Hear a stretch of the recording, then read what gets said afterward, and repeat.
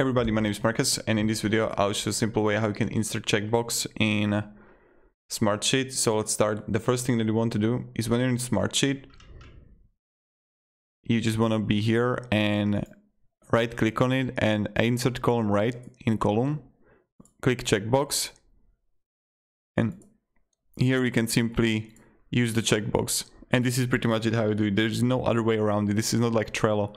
What you can do also is like add or write and then add the text here right next to it. So that's what you can do. So yeah. If you have any questions guys, ask me down in comments. I'll be really happy to help you.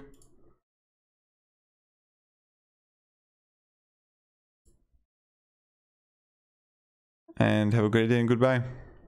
See ya.